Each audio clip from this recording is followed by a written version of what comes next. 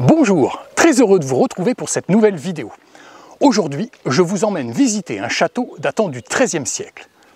Un château situé sur la commune d'Échiré en Deux-Sèvres, tout au bord de la Sèvre niortaise. On va commencer cette vidéo par un grand merci. Un grand merci aux membres de l'association des Amis du Coudray-Salbar. On en parle un peu plus loin dans la vidéo. Le château de Coudray-Salbar que vous distinguez peut-être derrière moi, est un énorme château. Et ne vous fiez pas à son allure délabrée, il y a plein de choses à découvrir dans ce château, plein de choses à voir et des choses uniques en Europe. Donc installez-vous confortablement, ouvrez les mirettes, tendez les esgourdes, nous partons à la découverte du château de Coudray-Salbar.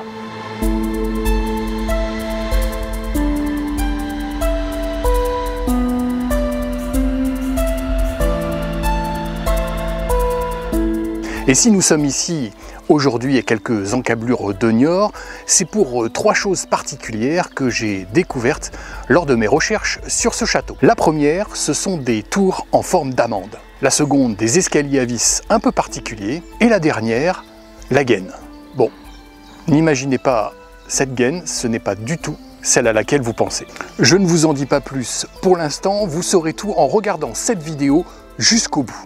Justement, avant de poursuivre, vous êtes de plus en plus nombreux à regarder cette chaîne, mais sans vous abonner. Alors, soyez sympa, abonnez-vous à la chaîne, un petit pouce bleu si la vidéo eh bien, vous convient, et euh, actionnez la cloche pour être prévenu des autres vidéos qui seront diffusées dans les jours et les semaines à venir. Un grand merci. Allez, on commence et on va parler un peu d'histoire et surtout, bien évidemment, de l'histoire de ce château dans l'histoire de France. Le château de Coudray-Salbar est sur le mont Milon qui tire son nom d'une villa gallo-romaine. Cette villa a été donnée en 507 à l'abbaye de Saint-Mexan par Clovis Ier, roi des Francs, suite à sa victoire sur les Visigoths lors de la bataille de Vouillé. On n'a malheureusement pas la date de la construction du château. On sait qu'il a été édifié par les seigneurs de Partenay au début du XIIIe siècle, avec une aide non des moindres, vous allez comprendre dans quelques secondes. Une construction qui s'est faite autour d'un premier château, un château primitif qui lui a été édifié au XIIe siècle, dont les vestiges sont encore présents. La légende, car il y en a une forcément, veut que les seigneurs de Partenay aient reçu l'aide d'une fée, la fée Mélusine. Elle construit le château en seulement trois nuits, en transportant dans son tablier les pierres des six premières tours. Les constructeurs du BTP d'aujourd'hui la regrettent fortement. Revenons sur Terre, plantons le décor. L'édifice surplombe la Sèvre niortaise qui était une route fluviale importante et qui permettait d'acheminer des denrées et des biens jusqu'à Niort et au-delà, ce qui permettait aux seigneurs de taxer les bateaux qui passaient par là. À l'époque, le château était composé de 8 tours. 6 tours qui sont encore debout, que l'on voit aujourd'hui et que l'on va visiter, et deux tours qui ont disparu, deux tours qui gardaient euh, la basse-cour et la barbacane, ainsi que l'entrée euh, principale du château, celle qui donnait sur la Sèvre niortaise, et son pont-levis. Mais tout ceci n'a malheureusement pas résisté au temps. Entrons dans la basse-cour, en tous les cas ce qu'il en reste. Ici vivaient les soldats, les habitants.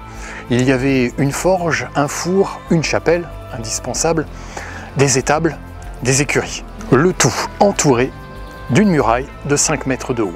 Alors je me trouve sur la passerelle, la passerelle qui mène euh, à la tour du portal, la tour d'entrée du, du, château à proprement dit, la tour d'entrée de la haute cour. Cette passerelle n'était pas comme ça à l'époque. Elle était plus étroite, il n'y avait pas les garde-fous à droite et à gauche, et l'escalier en bois est là pour, euh, pour des piétons, mais à l'époque, les marches étaient beaucoup plus hautes et elles étaient en pierre. Elles correspondaient à la hauteur d'un pas de, de cheval, donc il n'y avait que 7 ou 8 marches qui permettaient de, de grimper sur, euh, sur cette passerelle. Ça avait l'avantage aussi en cas d'attaque de, ralentir la progression des, des chevaux plutôt qu'une passerelle toute droite, en tous les cas en pente. Ce pont dormant, comme on l'appelle, puisqu'il est fixe, donne sur un pont-levis. Ce pont-levis ne ressemblait bien évidemment pas à celui que l'on voit aujourd'hui. Hein.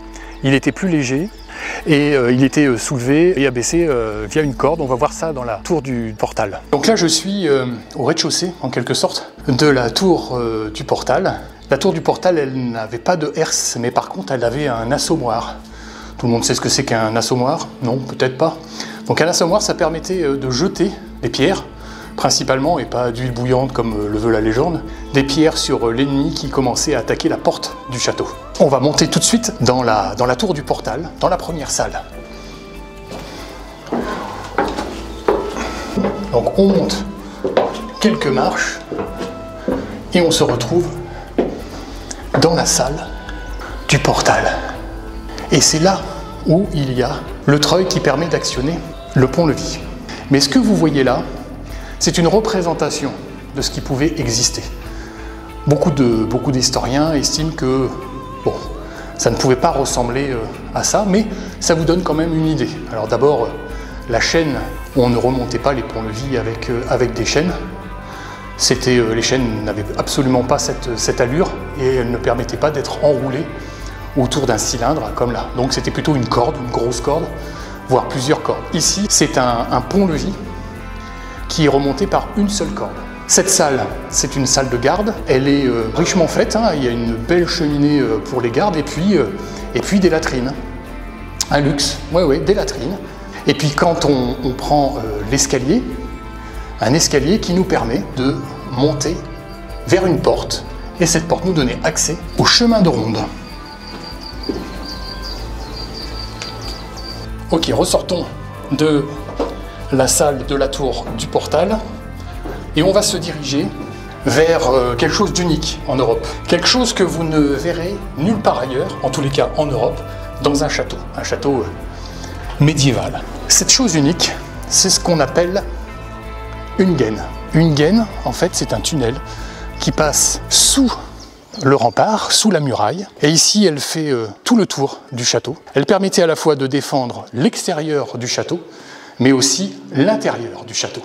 Mais c'est vrai que c'est assez exceptionnel d'avoir ça en France. L'équivalent, on le trouve en Syrie, au Crac des Chevaliers, un château médiéval construit pendant les croisades. C'est un tunnel hein, de pierre qui est percé euh, d'archères de temps à autre, sur l'extérieur, comme je le disais, mais aussi euh, sur l'intérieur, et euh, qui permettait, bah, quand il y avait des assaillants externes, de leur tirer dessus. Et quand, euh, bah, on pourrait imaginer que la cour haute puisse être prise par l'ennemi, eh bien, sans se, sans se dévoiler, on pouvait leur tirer dessus également. Donc ça faisait un petit peu, un petit peu beaucoup pour, pour l'ennemi. Et la particularité de cette gaine, c'est qu'elle n'entre pas dans les tours. Les accès sont bloqués par des portes, à une exception près, ici, dans la double tour. C'est la seule tour où la gaine entre dans la tour. Alors pourquoi on ne permettait pas à la gaine d'entrer dans les tours? Bah, Tout simplement, si on prenait la gaine, bah, on ne pouvait pas prendre les tours euh, du château. Donc là, ils n'ont pas pu faire autrement, ils ont permis à la gaine d'entrer euh, dans la tour, la, double tour. Donc euh, cette double tour, eh bien, elle est percée d'archères pour défendre à pratiquement 360 degrés le château. Cette gaine, elle, elle nous permet d'accéder à une autre tour, beaucoup plus petite, mais la particularité de, cette tour, bah, c'est que c'est la première tour du château, du château primitif. Parce que oui, il y avait un château primitif qui ne ressemblait pas à celui que vous voyez aujourd'hui. Et là, je me, trouve dans la tour Saint-Michel. C'était euh, une des premières tours du château primitif, qui en comptait quatre. Donc ici, je me situe euh, dans la euh, cour haute, à l'emplacement de ce qu'était le château primitif. D'ailleurs, on en voit euh, encore euh, une tour ici et puis une tour un petit peu plus loin. Et ça constituait avec la tour Saint-Michel et la grosse tour qui n'était pas la grosse tour, l'enceinte du château. On imagine le logis euh, au milieu de, ces quatre tours. Il y en avait peut-être même une cinquième, mais, mais on n'en est pas sûr. Alors ce qui est bien ici aussi au, château de, de Coudray-Salbar, c'est qu'on peut expliquer une expression. L'expression barrer une porte pour dire qu'on la ferme, une expression euh, typique de, Poitou-Charentes, eh bien on a l'exemple parfait de cette expression. Barrer la porte. En fait, euh, au Moyen Âge, pour fermer une porte, on la barrait avec un morceau de bois.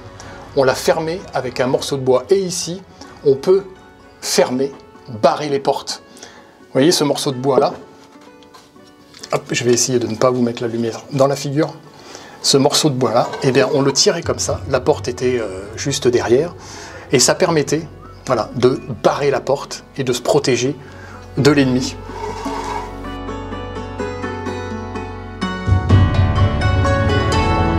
Donc là, on est dans la tour de Bois-Berthier.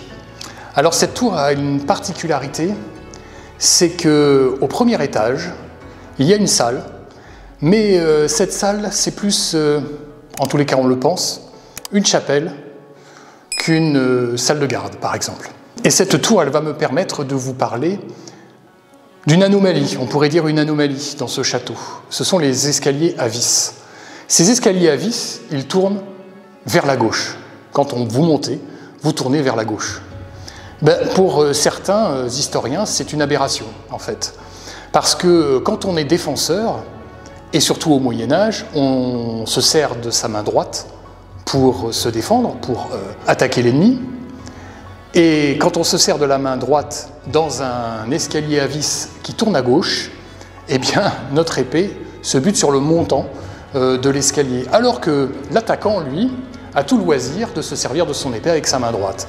Et ce qu'il faut savoir, c'est que au Moyen Âge, euh, la main gauche c'était la main du diable, donc ils apprenaient d'abord à euh, tirer euh, leur épée de la main droite. Ce que je vous propose maintenant, c'est de monter dans, la, dans la salle dont je vous parlais, qui est qualifiée de qui est qualifiée de, chapelle. Je vais essayer de ne pas tomber. Donc vous voyez, l'escalier prend sur la gauche, donc moi, si je suis attaquant avec ma main droite, eh ben pas de problème. Je peux, je peux attaquer avec mon épée, mais le défenseur, lui, eh bien, euh, finira par, euh, par taper là-dedans.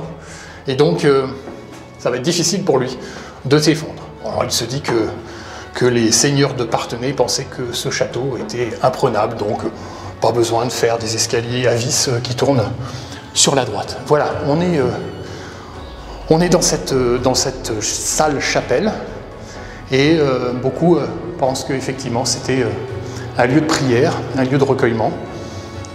Voilà, je vous montre le décor qui a été installé. Et si ce décor a été installé, eh c'est simple. C'est parce qu'il va y avoir une fête médiévale. On, verra des, images à la fin de, de cette vidéo parce qu'il y a des démonstrations et c'est ça qui va plaire à tout le monde.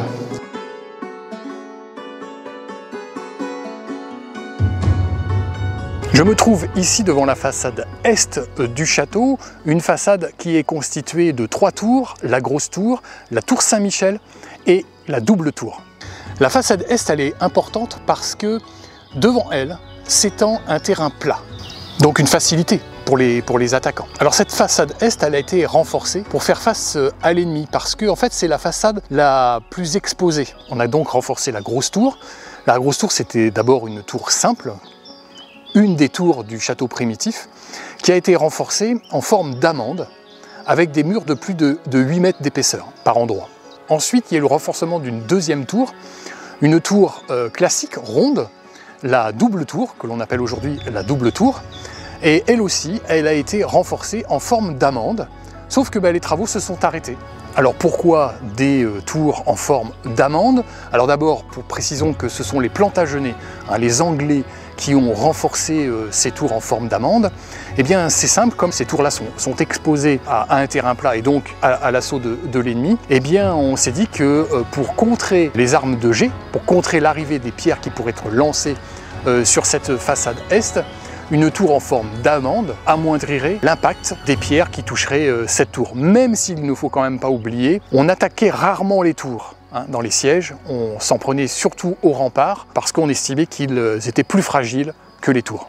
Autre détail intéressant, la poterne que vous voyez juste derrière moi, elle a la particularité de traverser tout le château pour déboucher dans la douve sèche devant le château. Hop, magie de la téléportation, je suis de l'autre côté du château, dans la douve sèche. Et voilà, par où sortait le tunnel, l'autre poterne que l'on a vu euh, sur la façade est, eh bien elle sortait au fond de la, de la douve sèche que l'on voit ici. En fait, à l'époque, il n'y avait pas autant de terre, et donc il faut savoir qu'il y avait encore 8 mètres de profondeur en dessous de, cette poterne. Alors pourquoi faire cela? C'est un tunnel qui ne débouche sur rien que sur ce fossé-ci et puis euh, sur la douve sèche de l'autre côté. Eh bien c'est simple, en cas de prise de la basse-cour, les euh, défenseurs pouvaient passer par ce tunnel, déboucher ici, descendre dans le fossé et prendre éventuellement à revers les attaquants qui étaient eux encore restés dans la basse-cour.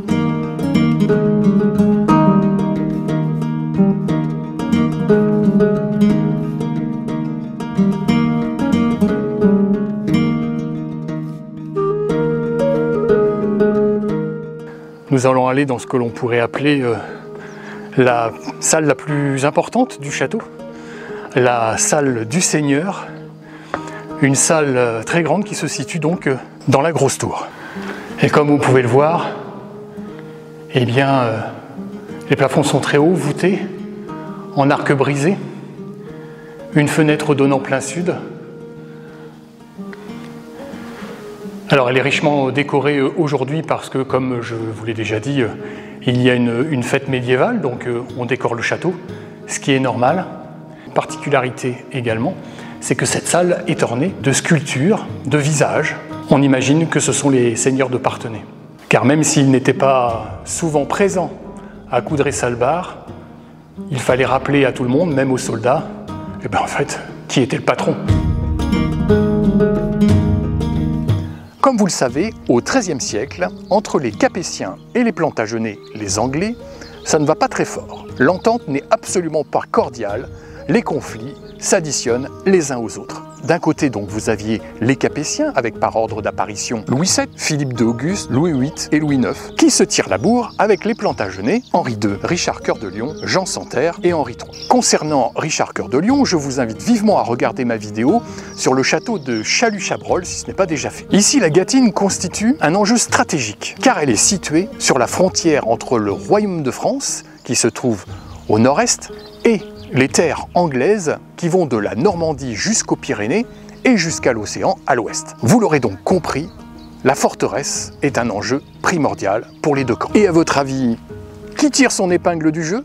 Eh bien évidemment les seigneurs de Parthenay, qui ont assis leur pouvoir sur les subsides anglais et français, soutenant l'un puis l'autre en fonction de leur intérêt.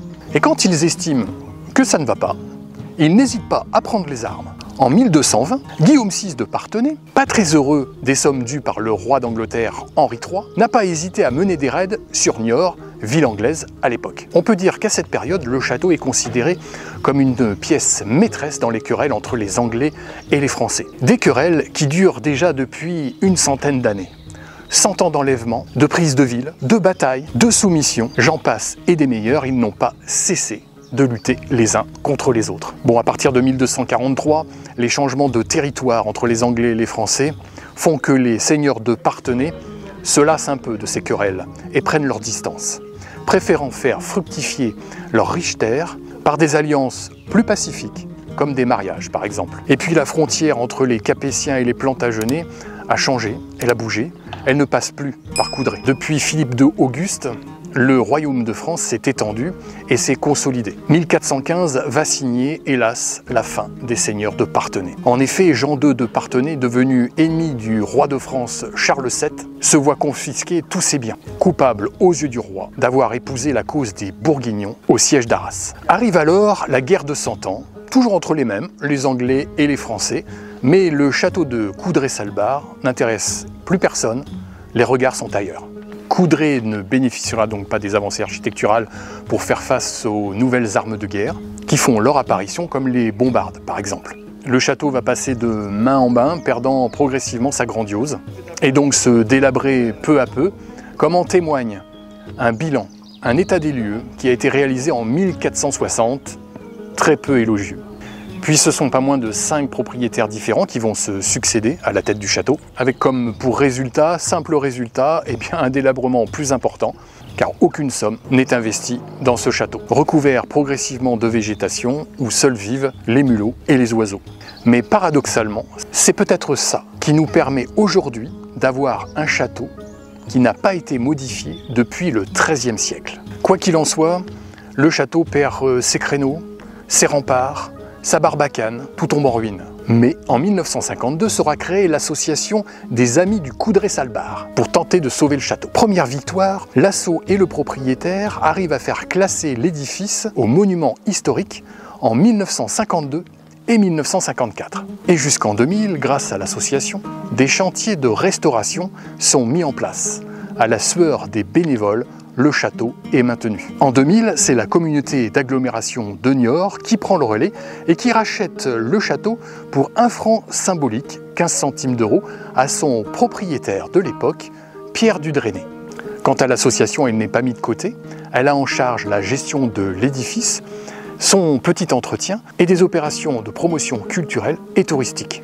Voilà, c'est une fin de, vidéo. Merci de l'avoir regardé jusqu'au bout. Et puis, allez voir, euh, voir des châteaux. Le château de, de Coudray-Salbar, c'est comme le spectacle vivant, le château. Il est préférable d'être euh, devant la scène, il est préférable d'être dans le château plutôt que de le regarder à travers un écran. Donc, on n'a pas tout vu hein, dans ce château. D'abord, il est tellement énorme qu'il faudrait une vidéo très, très, très, très longue. Merci encore à l'association des Amis du Coudray-Salbar de leur accueil, de leur aide pour préparer cette euh, vidéo. Et puis merci aussi à la communauté d'agglomération euh, de Niort euh, d'avoir permis la réalisation de, de cette vidéo. Je vous dis à la prochaine. Salut